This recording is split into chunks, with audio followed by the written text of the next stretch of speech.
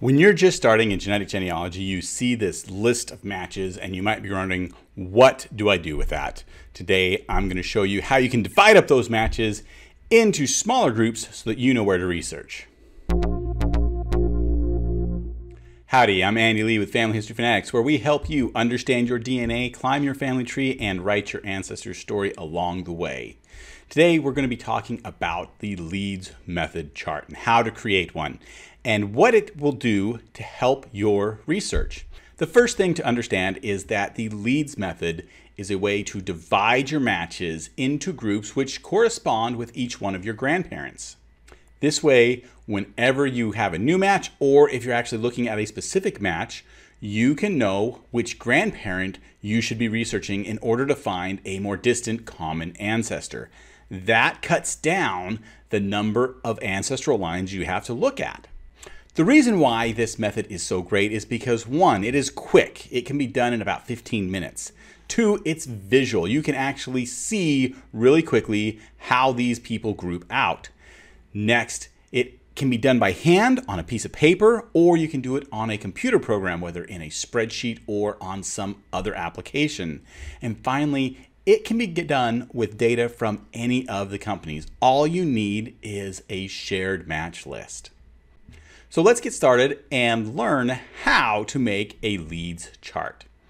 The first thing you want to do is you want to create a table with at least five columns and sometimes more. So let me go over to my spreadsheet and show you. Here we are with a table I've created in Google Docs and I have a column where I'm going to put the names of the matches here and then I have in this case six columns that I've actually put a color on each one of them. If you want to put that color on now, you can. If not, we're going to be putting it on in the next couple of steps anyway. But this is the basic setup that you're going to need in order to create your Leeds method chart. So the next step that we have is we now want to list all of our second and third cousins. And most people right now are probably saying, well, how do I know whether they're my second or third cousins? You guess. But the way that you guess is by using the amount of shared DNA. So typically you're going to be looking for people that share below 400 centimorgans and above 90 centimorgans. Now you can do a little bit less than 90 centimorgans, but you usually don't want to go above 400 centimorgans because we actually want to exclude all of the first cousins and all of the first cousin once removed or first cousin twice removed because they are going to complicate our analysis, and you'll see that as we're going through. There are different ways that you can get this match list. You might have to download your list of matches. You might have to manually type it in in some cases, or you might have to use a third-party software that goes and grabs those matches off of the website. However you do it, all you need is you need this list of matches.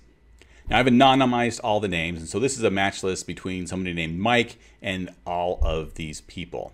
And what we can see is I've highlighted these first few red, and that is because they are known first cousins, either a first cousin or a first cousin once removed, or even a first cousin two times removed.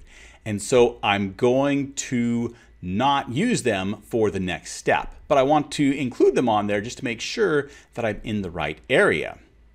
So the third step that we want to do now is we want to take the first match and assign a color. Now, when I say the first match, I mean those matches that aren't known first cousins or first cousins once removed.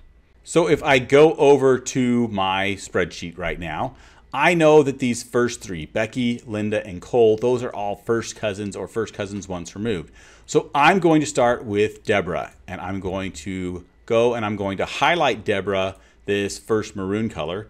And I'm going to put an asterisk in that one so that we know that Deborah is the lead person for this group. In other words, she is the person that I'm going to be comparing everybody else to. So now we're ready to actually start forming our group, and that is with step four. What we're going to do is we're going to color all of the shared matches with that lead match. So let me pull up a shared match list between Deborah and Mike, who all this information belongs to. So here is the shared match list, and we can see that Mike and Deborah, they share Becky and Sarah and Jay and EO and Estelle and on down this list. So back on my Leeds chart, I'm going to highlight each one of these also in that maroon color. So we have Becky. Becky needs to be maroon. And also we're going to find Sarah. Sarah is the next one that needs to be maroon. And then we need to find J and EO. And as we scroll down, there's J and there's EO. And then Thomas and Larry. There's Thomas and Larry. Now, all of these people, they share DNA with Mike and Deborah. And now Deborah is the lead one of the group. Mike is the overall one for all of the groups. So we've got our first section done. We've found all of the shared matches for Deborah. So let's go on and see what we do next. Now the next step is that we want to find the next person that is ungrouped and we want to match them with a new color. So let me go back to my table and see. So we have here, looks like Joe is the next one that doesn't have a color. And my next color is this teal. So I'm going to color Joe that teal. And I am going to put an asterisk in that field so I know that Joe is my next lead character. Now I have Deborah as a lead character and I have Joe now as a lead character these are the starts of my groups. So can you guess what the next step is going to be? If you're thinking that you're going to now color the shared matches, you're right. You are going to color the shared matches. In fact, what you're going to do is you're going to continue to color shared matches for each of the next groups using the next person who doesn't have a color already. Now, I don't want to have to go through all of that and show you each one of those, but here is what the finished product looked like. I have my Deborah, I have Joe here, I have Mabel here, I have Paula, and I have Randy as my lead people. And you can see I actually have moved some things around because of the way that I had created this originally. But as I go down, I can see that everybody has at least one color in this. So that is what the ultimate goal is, is that between 400 centimorgans and down to 90 centimorgans. Everybody has one color. One of the things that you might see though is you might see that, hey, there's a couple of people that have two colors, like Thomas here. Or there's other people, like our first cousins, that have maybe even three colors.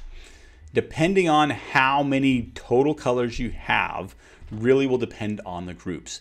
Now, the Leeds method is ideally made so that you're going to come up with four colors, which represent one of each of your four grandparents. In order to do that, each one of your lead people need to be second cousins of you.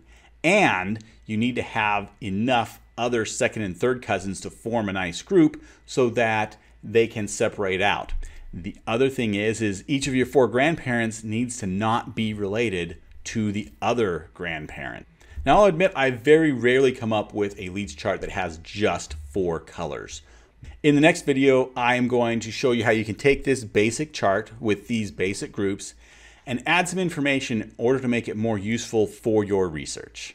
But this is a quick way that you can divide up your matches into groups so that you know which matches you should be researching together, as opposed to just trying to figure out what this huge match list actually means. Now, if you have questions about the Leeds method chart, put it in the comments below. If you haven't thought about joining our channel, click on that join button down below and you can see some of the perks and extra videos and training that you will get being a member of Family History Fanatics Extra.